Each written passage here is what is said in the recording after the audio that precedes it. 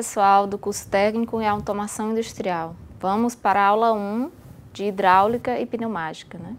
Eu sou a professora Luciane Norberto Menezes de Araújo, sou engenheira mecânica formada pelo Instituto Federal do Piauí e atualmente eu sou doutoranda e mestre em Ciências e Engenharia dos Materiais pela Universidade Federal do Piauí.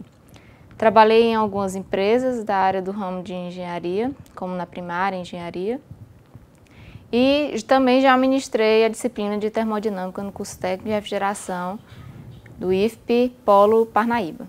Atualmente eu também sou professora do ensino básico, técnico e tecnológico do Instituto Federal do Maranhão, no campus Coelho Neto, ministrando aulas no curso técnico de automação industrial. É, segue aí meu link para o currículo Lattes, para quem quiser conferir. Né? Então, a disciplina de hidráulica pneumática ela tem alguns objetivos, né? Dentre eles é introduzir vocês aos conceitos elementares da automação pneumática e hidráulica, né?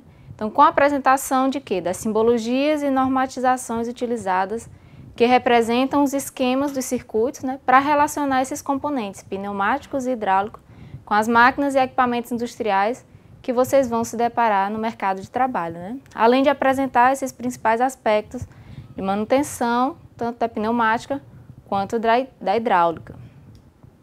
Então, nossa aula ela segue o seguinte roteiro, né? Inicialmente nós veremos um pouco da introdução, iniciando pela pneumática, veremos alguns conceitos básicos, como as propriedades do ar comprimido, vantagens e limitações do uso deste ar comprimido, além das propriedades físicas do ar comprimido.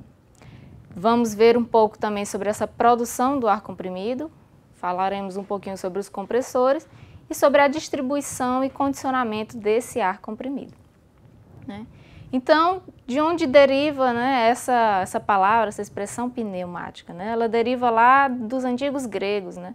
de pneuma, que significa fôlego, vento. É, então, a pneumática ela vem, vem a ser o quê? A disciplina que estuda o movimento dos gases né, e, fenômeno e fenômenos dos gases. Então, o uso do ar comprimido na atuação é exatamente na atuação de dispositivos que irão gerar movimentos. E esses movimentos eles podem ser alternativos, movimentos de vai e vem, lineares, né? além de rotativos e combinados. É, o ar comprimido ele pode ser considerado como uma forma de energia. Como assim o ar comprimido é uma forma de energia? Você utiliza esse ar comprimido, como eu já citei anteriormente, para gerar movimentos, né? E aí ele é muito utilizado dentro da indústria e ele exige o que? Um manuseio correto e é isso que nós conheceremos um pouco sobre os seus elementos. Então o uso desse ar comprimido ele é de forma generalizada na indústria. Né? Começou com a necessidade cada vez maior de automação, então é, vocês vão perceber que a pneumática e a automação elas estão diretamente ligadas, né? E também surgiu da necessidade da racionalização dos processos de trabalho. Então, uma das formas mais práticas de visualizar a utilização do ar comprimido é nos, é nos mecanismos de abertura de porta de um ônibus. Né? Então, se utiliza a pneumática e elementos pneumáticos para fazer esse tipo de movimento. Né? Então, o ar comprimido ele é utilizado desde os tempos primitivos. Né? A gente pode visualizar aí na figura, no slide, que é, os antigos utilizavam um fole para aumentar essa pressão do ar para gerar chamas, né? Para aumentar as chamas nos processos de queima, né? E aí, com a Revolução Industrial, iniciou-se a fabricação de compressores de ferro fundido e desde então vem se alastrado esse, essa utilização do ar comprimido. Né? Então, hoje, além de vários processos industriais, é possível visualizar a pneumática além como a hidráulica, né? principalmente a pneumática, inclusive nos sistemas veiculares e até mesmo em sistemas de várias utilizações como é, o dentário, né, odontológico, onde nós temos o movimento tanto das ferramentas quanto dos equipamentos a partir dessa ar comprimido como forma de energia. Então, é necessário que saibamos as propriedades né, e alguns conceitos básicos desse ar comprimido. Então, o ar comprimido ele tem algumas propriedades positivas, como a sua quantidade, é ilimitado. Em todo, em todo, em toda a atmosfera nós visualizamos, nós visualizamos, nós percebemos esse, esse, esse ar, né? Tem uma quantidade limitada, então uma das melhores propriedades do ar. O seu transporte, ele é de, de forma fácil, né? É, você pode transportar o ar comprimido através de tubulações facilmente, além do seu armazenamento. Ele pode ser armazenado em reservatórios. E isso permite com que se tenha bastante quantidade para diversos, diversos processos. Né?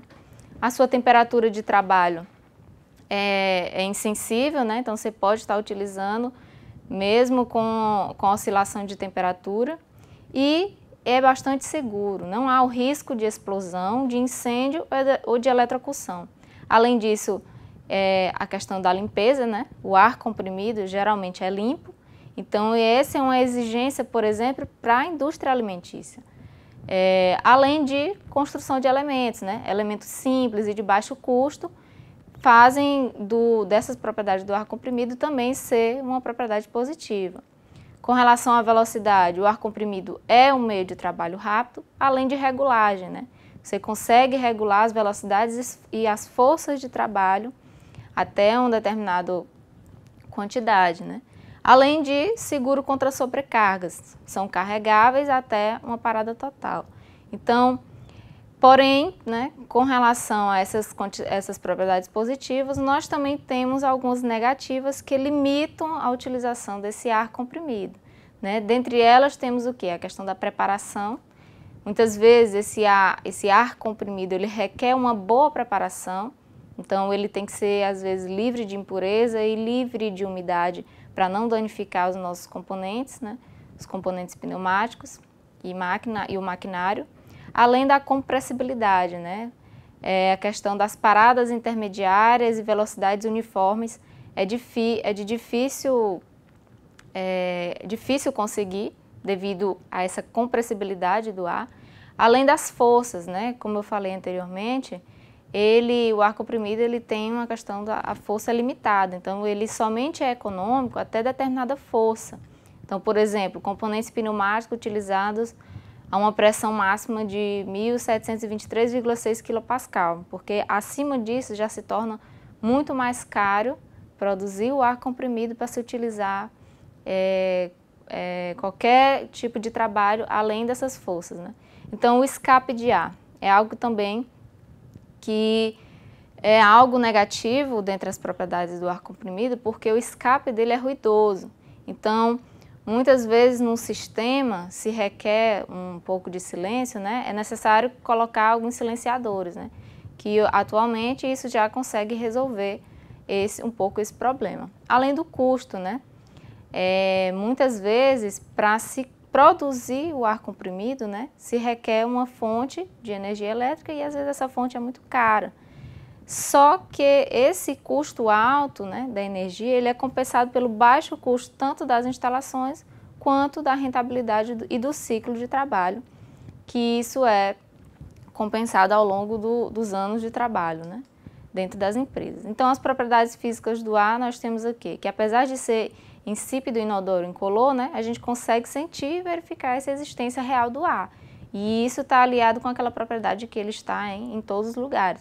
Então, ele, devido às suas pro propriedades de compressibilidade, elasticidade, difusibilidade e expansibilidade, podemos utilizá-los nos elementos de trabalho, né? Como, por exemplo, a gente visualiza aí na, na figura do slide 11, onde temos um cilindro cheio, né, atmosférico com volume inicial, e depois, ao, ao é, recuar esse cilindro, né, a voz do cilindro, você tem um ar totalmente comprimido, né, com um volume final é, menor. E na atmosfera nós temos o que? Nós temos oxigênio e nitrogênio, né? E todas essas camadas inferiores, elas são comprimidas pelas superiores. Então, o peso do ar, ele é equivalente em todas as direções e nós temos a pressão atmosférica. E essa equivalência da pressão atmosférica ele é, permite essa utilização do ar comprimido também, né? Então, para conhecer, para sabermos um pouco lidar com os elementos pneumáticos, devemos é, conhecer né, um conceito básico, que é o de pressão, que da física pressão é força sobre área, né? E nesse sistema internacional de unidade, nós temos que a sua unidade é, de medida é o Pascal. Além dessa unidade de medida, nós podemos, vamos encontrar ao longo dos manuais né, de todos os equipamentos da indústria, encontramos outras unidades de medida, como o quilograma força por centímetro quadrado, o PSI, o bar e milímetro de mercúrio, né, torcel. E aí nós temos que é, um Pascal exatamente vindo lá do fundamento da física, né, um newton por metro quadrado. É, e todas essas unidades de medida, elas podem ser correlatadas, né? Então, a sua relação entre essas unidades de medida, elas podem ser... Você pode ter essa questão da relação, como é visto na tabela da, do slide 14. É, então, para termos esse ar comprimido, nós necessitamos de produzi-los, né?